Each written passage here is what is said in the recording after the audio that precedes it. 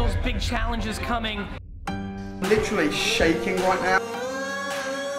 I'm just sat here in the car with Samuel Leeds. If you don't know who he is, just Google him. But he's a multi-millionaire entrepreneur king. You're fucking pumped. Who just left his family, stripped from all his wealth, I haven't quite got you that much.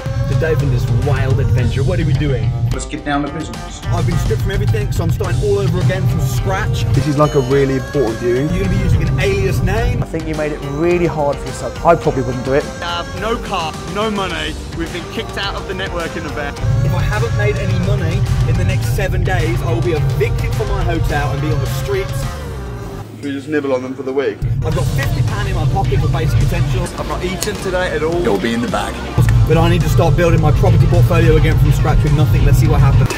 Within two weeks, I've never seen anything like this before. I'm documenting everything. This is the Financial Freedom Challenge.